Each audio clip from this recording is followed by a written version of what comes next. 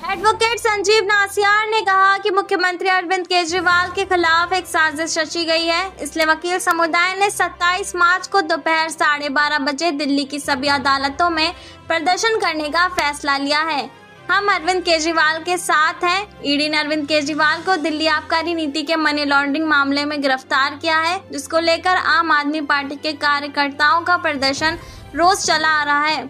इसी बीच एडवोकेट संजीव नासियार ने ईडी पर गैरकानूनी तरीके से अरेस्ट करने का आरोप लगाते हुए प्रदर्शन करने का ऐलान किया है। एडवोकेट संजीव नासियार ने कहा कि 21 मार्च की रात को जिस तरीके से एक चुने हुए मुख्यमंत्री को केंद्र सरकार के इशारे पर ईडी ने गैरकानूनी तरीके से अरेस्ट किया है, वो भी एक ऐसे केस में जिसमें पहले भी कई नेताओं को जेल भेजा गया है। इसके बावजूद एक नए रुपए की रिकवरी तक नहीं हुई है। लेकिन अभी इलेक्ट्रॉल बॉन्ड के माध्यम से जो फैसला आया है, उससे पता चला है कि जिसके स्टेटमेंट पर अरविंद केजरीवाल को अरेस्ट किया गया है और 60 करोड़ रुपए रिश्वत दी गई है भारतीय जनता पार्टी की तरफ़ से।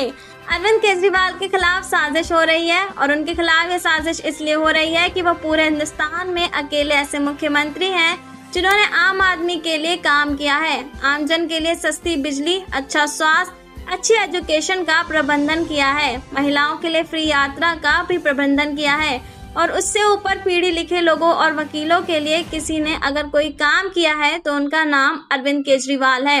संजीव नासियार ने कहा कि हम लोगों को टर्म इंश्योरेंस, मेडिकल पॉलिसी दी अगर तो वो काम अरविंद केजरीवाल ने किया है। वकीलों के ऊपर तीस हजारी में जब गोली चली थी, तब सबसे पहले अरविंद केजरीवाल के सिपाही बोले थे तो ऐसे अरविंद केजरीवाल के खिलाफ जिस तरीके से षडयंत्र रचा गया है, उसको लेकर वकीलों ने निर्णय लिया है कि 27 मार्च को दोपहर साढ़े बारह बजे दिल्ली की सभी कोर्ट के अंदर एक बड़ा प्रदर्शन करेंगे। अपनी अपनी कोर्ट में हम साढ़े बारह बजे इकट्ठा होंगे और जोरदार प्रदर्शन करेंगे।